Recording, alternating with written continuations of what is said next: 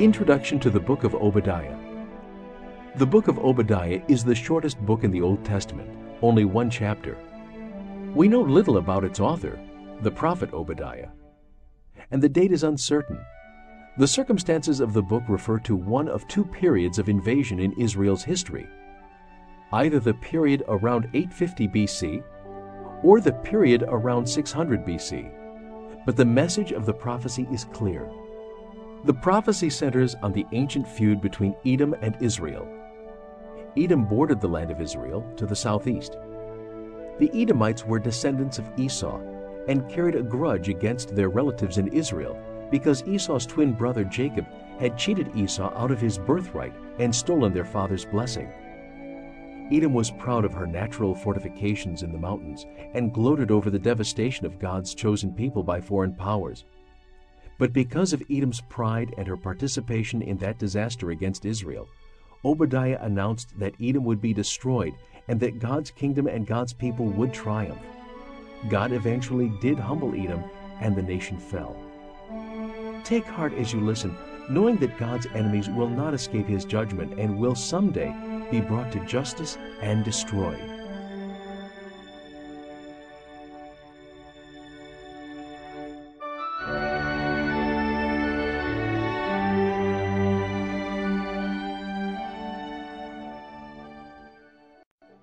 Obadiah, the vision of Obadiah. Thus saith the Lord God concerning Edom We have heard a rumor from the Lord, and an ambassador is sent among the heathen. Arise ye, and let us rise up against her in battle. Behold, I have made thee small among the heathen, thou art greatly despised.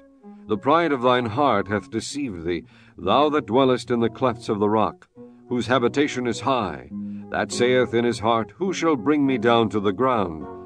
Though thou exalt thyself as the eagle, and though thou set thy nest among the stars, thence will I bring thee down, saith the Lord. If thieves came to thee, if robbers by night, how art thou cut off? Would they not have stolen till they had enough? If the grape gatherers came to thee, would they not leave some grapes? How are the things of Esau searched out?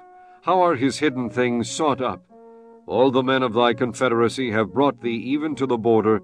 The men that were at peace with thee have deceived thee, and prevailed against thee. They that eat thy bread have laid a wound under thee. There is none understanding in him. Shall I not in that day, saith the Lord, even destroy the wise men out of Edom, and understanding out of the mount of Esau? And thy mighty men, O Teman, shall be dismayed, to the end that every one of the mount of Esau may be cut off by slaughter. For thy violence against thy brother Jacob shame shall cover thee, and thou shalt be cut off for ever. In the day that thou stoodest on the other side, in the day that the strangers carried away captive his forces, and foreigners entered into his gates, and cast lots upon Jerusalem, even thou wast as one of them. But thou shouldest not have looked on the day of thy brother in the day that he became a stranger. Neither shouldest thou have rejoiced over the children of Judah in the day of their destruction. Neither shouldest thou have spoken proudly in the day of distress. Thou shouldest not have entered into the gate of my people in the day of their calamity. Yea, thou shouldest not have looked on their affliction in the day of their calamity, nor have laid hands on their substance in the day of their calamity. Neither shouldest thou have stood in the crossway, to cut off those of his that did escape. Neither shouldest thou have delivered up those of his that did remain in the day of distress. For the day of the Lord is near upon all the heathen. As thou hast done, it shall be done unto thee. Thy reward shall return upon thine own head.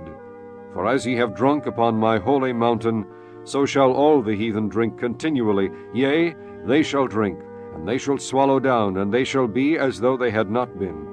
But upon Mount Zion shall be deliverance, and there shall be holiness, and the house of Jacob shall possess their possessions. And the house of Jacob shall be a fire, and the house of Joseph a flame, and the house of Esau for stubble, and they shall kindle in them and devour them, and there shall not be any remaining of the house of Esau, for the Lord hath spoken it. And they of the south shall possess the mount of Esau, and they of the plain the Philistines, and they shall possess the fields of Ephraim, and the fields of Samaria, and Benjamin shall possess Gilead.